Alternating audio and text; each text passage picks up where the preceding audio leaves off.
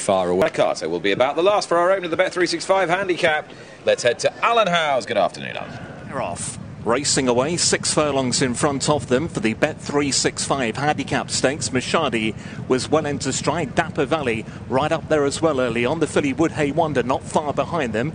Then came Trefor. More down the centre of the race course is Pilgrim together with Run Boy Run for Chief Mankato. Then more towards the near side is Kashatan as they settled into two groups with a half a mile to go. Woodhay Wonder, she's over toward the far side leading that group from Chief Mankato and Trefor. Then City House and Blue Prince and Ingleby Ivy, and then came Irish Nectar. The rest towards the stand side, being led by Dapper Valley, just ahead then from Mashadi, from Run Boy Run and Penn Portrait, and then came Love Billy Boy. Pilgrim still in the shake up, then North View, followed then by Kajetan and Gamekeepers trying to now stick through between rivals. But as they head down inside the final furlong and a half, it's Woodhay Wonder to the far side, together with the red cap Chief Mankato. Dapper Valley near side and long sides Mashadi. Far side Trefor is sticky on as well as they go inside the final furlong. It's the filly. Woodhay Wonder is out in front, pressed by Trefor. Dapper Valley near side, then Chief Mankato. But it's Woodhay Wonder, she's out in front. Woodhay wanted to win from Trefor in second. Then came Dapper Valley and Chief Mankato, followed by Mashadi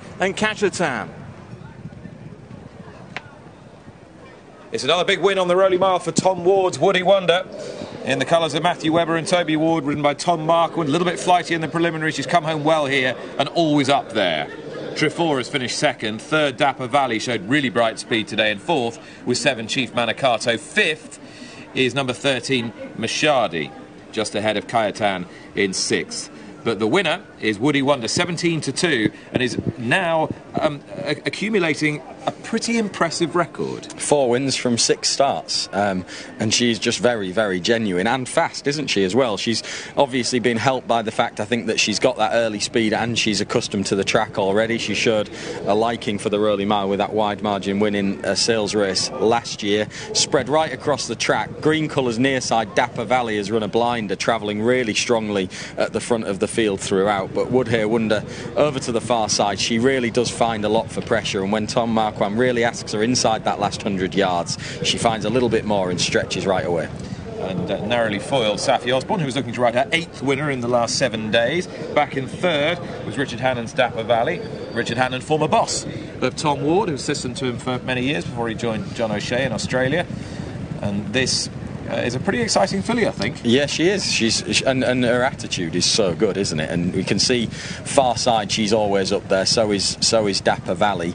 Horses again that got a little bit behind early. Have just struggled really to land land land a blow on, on, on of any significance on the on the race. Chief Manikato, red cap far side follows Woodhay Wonder through. He started his season well. He was a winning debutant last year. So Charles Hills will be delighted with his pair of runners in this. He will are both in that little far side group.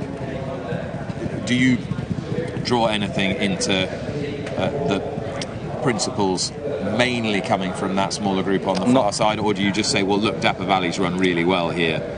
I, I, think it's a really even track right the way across, and I think we've seen that throughout the week that, that it has been the case. And entering the final furlong, Dapper Valley pretty much on terms with the far side. He has done well because I don't think it's helped him that nothing in his pack could go with him. So I think you'd have to give him a little bit more credit yeah. that he's kind of done it all on his own he definitely likes them to at least be making a print, I think, Dapper Valley. It was very soft ground when he won on his debut at Newbury last year. It looked a very impressive horse, maybe even a Royal Ascot horse. Went to Sandown the next time, and there was a mishap that day, uh, and it didn't go right. A, a, an issue, I think, with his tack, and he went across the track, so he couldn't really give his running.